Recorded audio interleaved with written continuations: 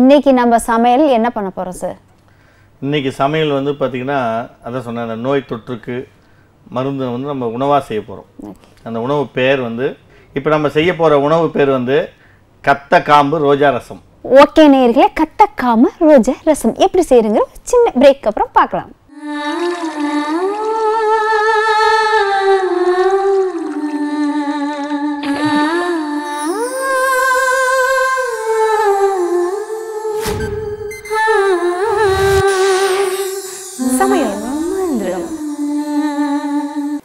Back to சமையல் மந்திரம்.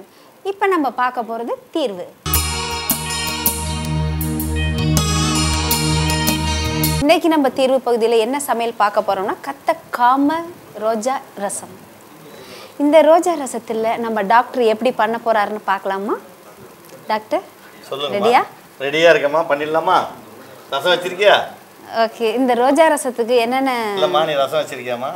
ரசம் வச்சிருக்கேன். ரசம் குடிச்சிருக்கியா? குடிச்சிருக்கேன். நிறைய குடிச்சிருக்கியா? இல்லை எந்த ரசத்தை கேட்குறீங்க இந்த ரசத்தை தான் கேட்குறேன் அதை எந்த தான் ரசத்தை சொல்றீங்க? நானும் அதை தான் சார் நீங்க எந்த ரசம் கேட்குறீங்களே சோத்து கத்தாழை.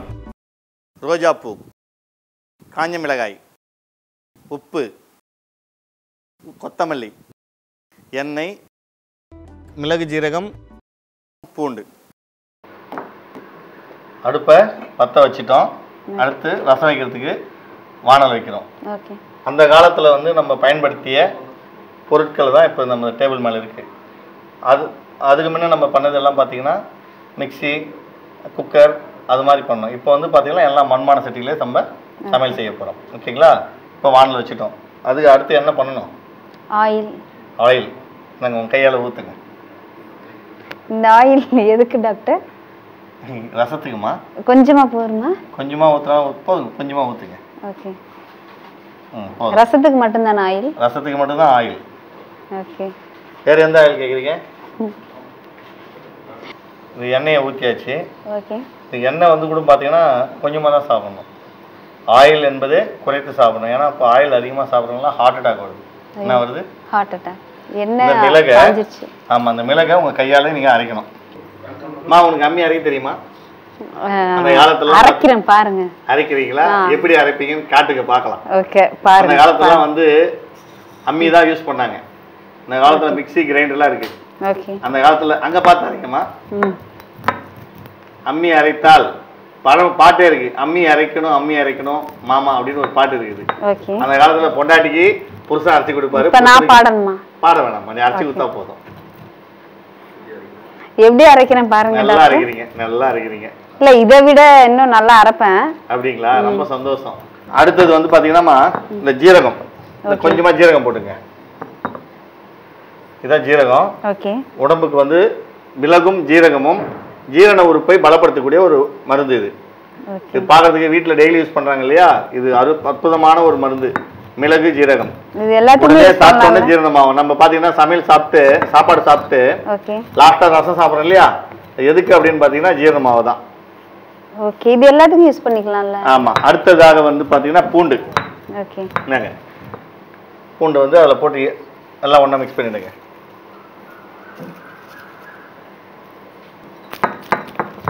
நல்லா அரைக்கிறாங்க. அடுத்து வந்து ரசத்துக்கு நான் மிளகாய் போடுறேன். மிளகாய் போட்டாச்சு. அடுத்ததாக இந்தாம்மா.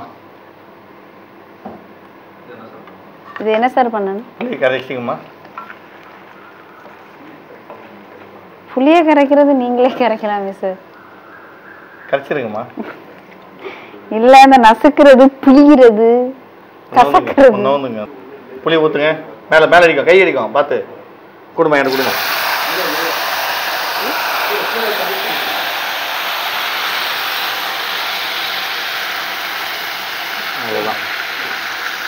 போதும். கொடுமா புளி ஊத்தாச்சு. இது அரைச்ச மசாலா? மசாலா எடுத்து அதில் போடுங்கம்மா.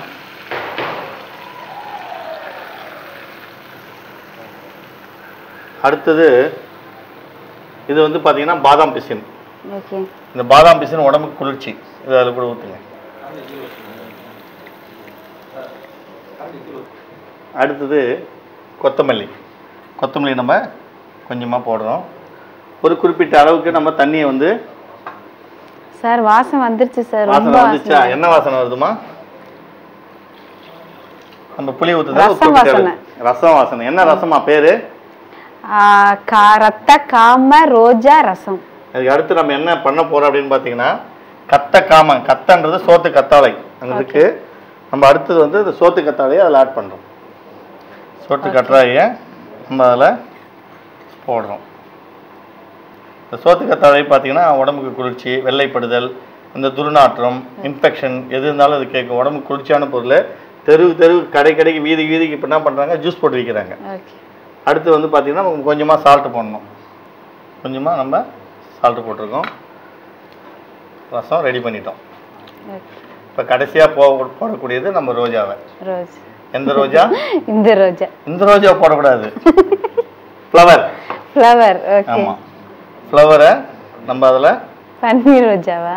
நம்ம ஆமாம் பன்னீர் பன்னீர் ரோஜா. பன்னீர் ரோஜாவை கூட ஆட் பண்ணுறோம் நல்லா அருமையான ஒரு ரசமாக இருக்கும்.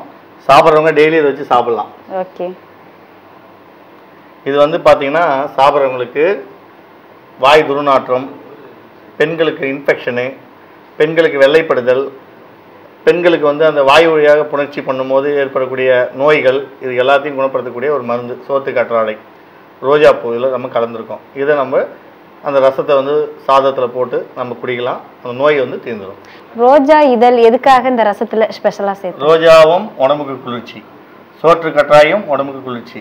இந்த ரோஜா பூலே பார்த்தீங்கன்னா குளுக்கோன் செஞ்சுருப்பாங்க. கடையிலலாம் விற்கும் ரோஜா குளுக்கோந்துன்னுவாங்க அவ்வளோ உடம்புக்கு குளிர்ச்சி. இதனுடைய ரோஜாவுடைய இரும்பு சத்து அதாவது எதிர்ப்பு சக்தி ரத்த விருத்தின்னு சொல்லுவாங்க. இது எல்லாமே வந்து அதிகம் ரோஜா பூ. அதுக்காக நம்ம சேர்த்துருக்கோம். சார் இந்த ரோஜா இதழ் போடுறதுனால இது இந்த ரசத்தை சாப்பிட்டோம்னா அந்த வாய் புணர்ச்சி அந்த இன்ஃபெக்ஷன் இதெல்லாம் இருக்கும் சொல்றீங்களா? அதாவது வாயால் சுவைக்கிறாங்க இல்லையா? அவங்களுக்கு ஏற்படக்கூடிய நோய்கள். தொற்று. அது வந்து இதில் குணமாயிடும். இந்த ரோஜாப்பூ சோற்று கற்றாழை மிளகு ஜீரகம் இதில் நம்ம ஏற்கனவே சேர்த்துக்கொள்ளக்கூடிய பாதாம் பிசின். இப்போ மூணு பொருள் இதில் உடம்பு குளிர்ச்சிப்படுத்தக்கூடியது.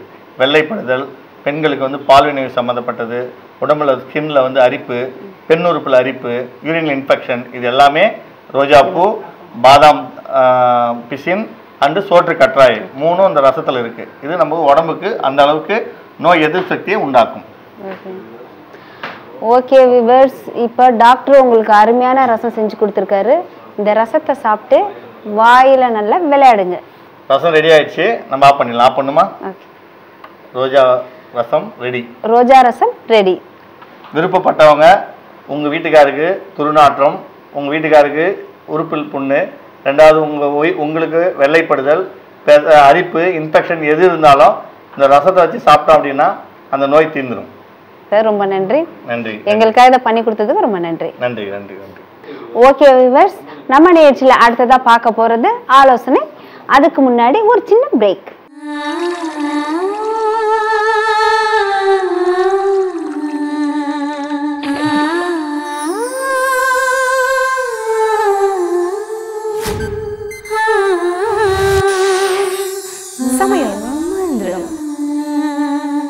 பெங்களூரில் அஞ்சு ஆஸ்பத்திரி பார்த்தங்க. எந்த ஆஸ்பத்திரியில் சுகம் கிடைக்கல. இங்கே வந்தங்க டிவி நிகழ்ச்சி பார்த்துட்டு வந்தங்க. அப்புறம் குழந்த சக்ஸஸ் ஆயிடுச்சு. மூணே மாதத்தில் சக்ஸஸ் ஆயிடுச்சுங்க.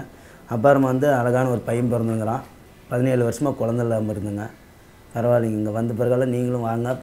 ஏழு வருஷம் குழந்த இல்லாமல் இருந்து சார். மருந்து சாப்பிட்டா ரெண்டாவது மாதத்துல நின்றுச்சு சார். என் பையன் கரு தேய்ச்சிட்டான் சார். இப்போ பையன் வந்து நாங்கள் சந்தோஷமாக இருக்கிறோம் சார். அஞ்சு வருஷமா குழந்தை இல்லை. நாங்கள் எவ்வளோ டாக்டர் கிட்ட பார்த்தோம் எங்களுக்கு மூணு மாதம் டைம் கொடுத்தாரு.